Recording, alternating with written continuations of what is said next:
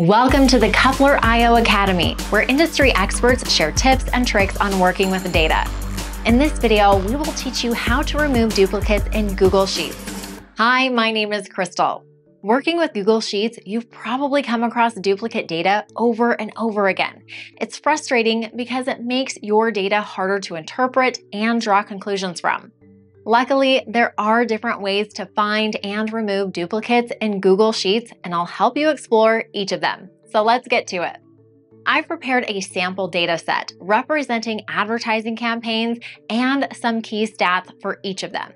At first glance, it may seem quite insightful, but when looking closer, you'll notice that there are plenty of duplicate rows. What's more, there are plenty of repeated values in column F, which probably is fine, but I'd better have a closer look there too. The very first thing you can do to remove duplicates in Google Sheets is to use the built-in method. To do that, highlight the range of cells you want to clean. In the Data menu, choose Data Cleanup and then Remove Duplicates. If the data has headers, it's worth taking the respective option. Next, decide whether you want to check entire rows for duplicates or only specific columns. I'll pick the former and click the Remove Duplicates button. That was quick. Google Sheets removed seven duplicate rows, leaving the other 15 intact. Out of the many Winter Wonderland duplicates, three prevailed in my first cleanup. This is because aside from name and source, all the other values are different. This could indicate different campaigns bearing the same name, but could also mean more duplicates worth removing. That's exactly the case here. Before I remove them, let's restore the initial data set. Now, go to the same option in the menu as before. I'll deselect all columns and pick only B, which means that only this column will be checked for duplicates. And here you go, the further two rows were removed. The default functionality is quick and effective, but it has one major drawback. You'll need to remove duplicates manually every time you want to clean a data set.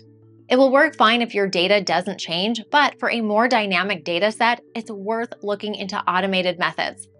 If your goal is extracting unique values from either column or unique rows, then the unique function may do the job. For starters, I want to get the unique values in column F, ignoring the duplicates. So I'll type in unique and then choose the entire column as a range. Quickly, I've learned that there are four unique advertising platforms in my dataset. And what if you want to check all columns for duplicates, just like I did moments ago with the built-in features? Then simply add the chosen range as a parameter of a function and you'll get the results right away with duplicate rows filtered out. Unique function is great because it will automatically remove duplicates in Google Sheets as your dataset changes without any manual work. However, it also has its limitations. It will only consider a row a duplicate if all its values within a chosen range are identical. So you can't, for example, return an entire row, but only check the first and last columns for duplicates.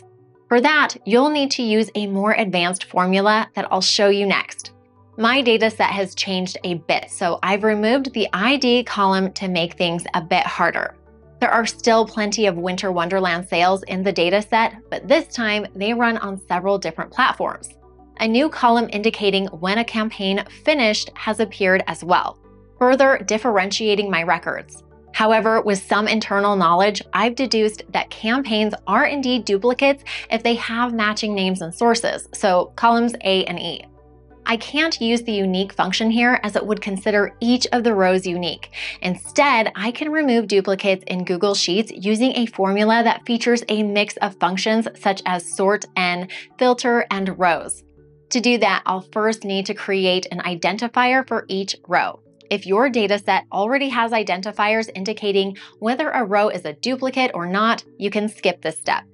As the second step, I'll sort data by identifiers and automatically remove duplicates. For starters, I'll add a new column here. I'll name it ID and run an array formula. Inside, I'll concatenate values in column B and F for each of the rows, which will create an identifier solely based on these two values, ignoring the rest. It doesn't look pretty, but it doesn't matter. Once the formula is set up, you can hide these ugly identifiers. Now, let's go to another tab and make some more space for the formula that will find and remove duplicates in two columns in Google Sheets.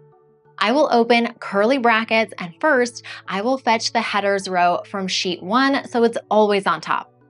Next, I'll type in the SORTN function that sorts a range of cells and returns n results, removing duplicates if that's what you're after. Its first argument is the range of data to sort. I'll use the filter function to remove the empty rows. The next parameter is n, the number of rows the function should return. I want to return all rows that pass the earlier filter, so I'll paste in that filter formula as an argument here. The formula is dynamic, so if more rows are added to sheet 1, SORTN will fetch them as well. Next is the display ties mode argument that takes different values. I won't be going into details on each possible value, but it's worth knowing that 2 returns n values but removes duplicates, which is exactly what I need. Next, I'll type in 1, which means that the first column, the one with newly created identifiers, will be sorted and considered when removing duplicates. Last, I can choose whether the data should be sorted in an ascending or descending order. Here, it doesn't make a big difference, but let's go with ascending, so true.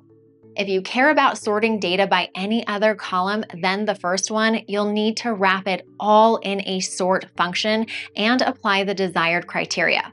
Okay, let's close all the brackets and save the duplicates have been removed. Now, if you don't care about these new identifiers, you can hide these columns in both the new and the original tab, and the formulas will work just fine. There are two other methods that I want to mention, and while they don't remove duplicates automatically, they're excellent at determining where the duplicates are so you can take appropriate action if necessary. I'll talk about pivot tables and conditional formatting.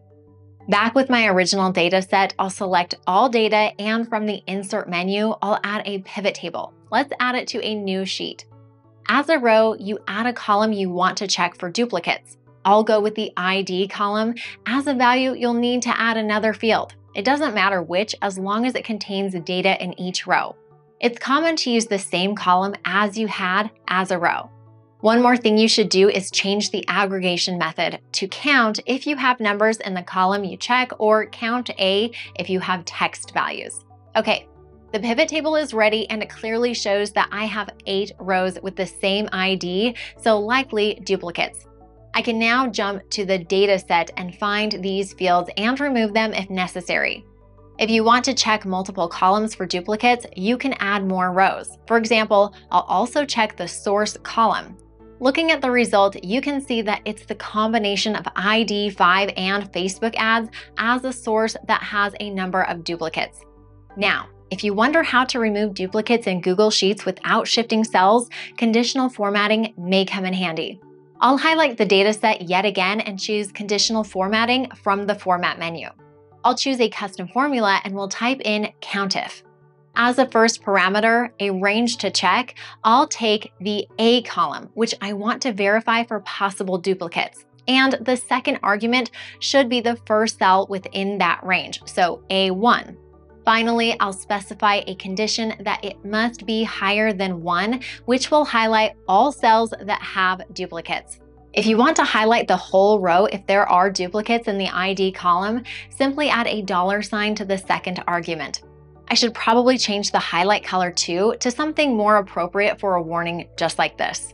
And to wrap up now, if you don't want to play with formulas, you can go to the Google Workspace Marketplace, where you'll find plenty of apps that can help you remove duplicates in Google Sheets.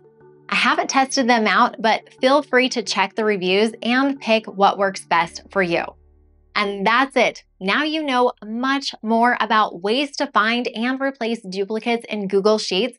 But if you have any questions, feel free to ask them in the comments. If you enjoyed this video, please give us a like, share the video with others, and subscribe to our channel so you never miss a thing. Thanks for watching and see you in the next video.